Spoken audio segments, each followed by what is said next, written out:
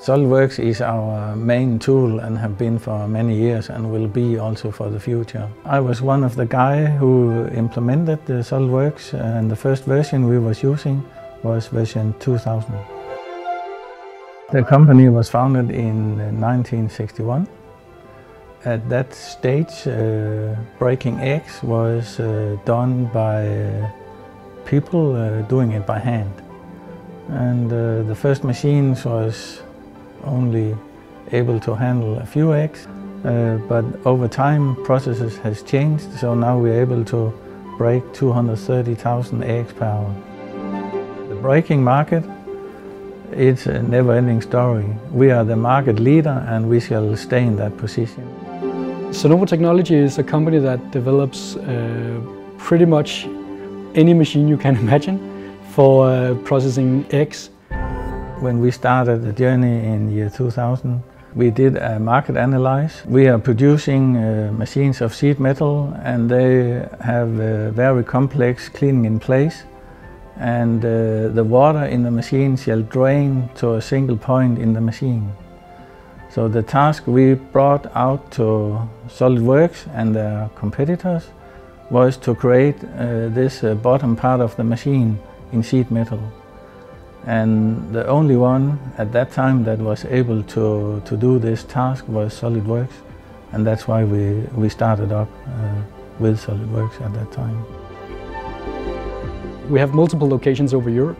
So uh, it's also a part of what I oversee and support is the, the different departments we have across, uh, across Europe, where they have local manufacturing and design departments and, um, and also project execution. So we also supply turnkey solutions and uh, consider that into the, the way we use SolidWorks and SolidWorks PDM.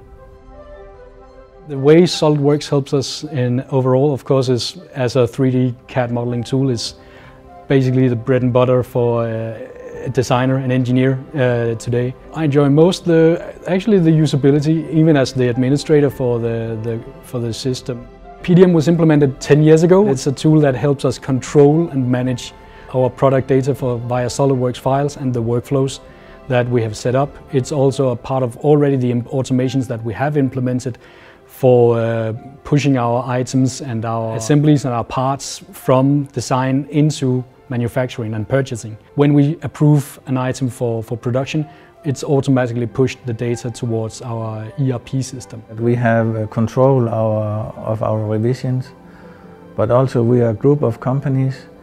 So because of the PDM systems and we are tied together in this European system, we are able to uh, move resources around between the, the different production sites. Functions in PDM such as uh, the copy tree function and uh, reusing designs we use simulation to, of course, verify design choices. So it's mainly constructural static simulations where we verify what do we expect our models, how do we expect them to behave under load in the, the different machines, make sure that we size them correctly. Software like Composer we use in order to help our manuals uh, for use and operator, but also in terms of assembly manuals. All this material they have access to in the production. They have uh, SolidWorks full licenses out there they can use and they can use eDrawings and this is possible because of the floating license structure. I think it's uh, honorable that we have been chosen to be a part of this. And we have used uh, SolidWorks for our design works in the group for 25 years and uh, it's the most important tool for us in our development uh, phase to use uh, SolidWorks. We shall not only be good to SolidWorks, we shall be the best to use SolidWorks so we can get good, reliable products on the market.